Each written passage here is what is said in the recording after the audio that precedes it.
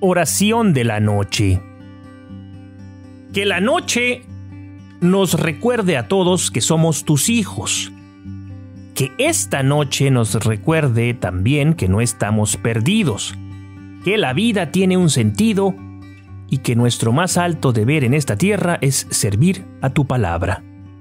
Que todos los que nos acogemos a la verdad pensemos de nuevo esta noche en nuestra responsabilidad como evangelizadores y portadores de tu luz.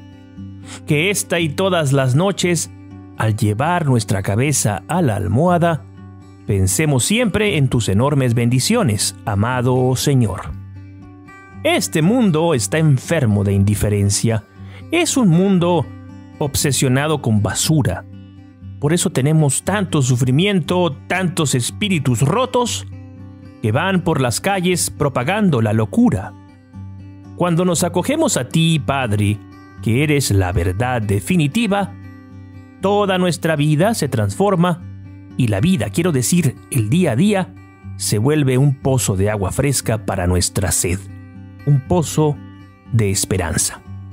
¿Cuánto dolor no nos ahorraríamos, amado Señor, si tuviéramos la inteligencia de postrarnos ante ti día con día, noche a noche. Que cada persona que escuche estas palabras hoy se comprometa a la adoración constante y el fervor cristiano. En el nombre del Padre, del Hijo y del Espíritu Santo.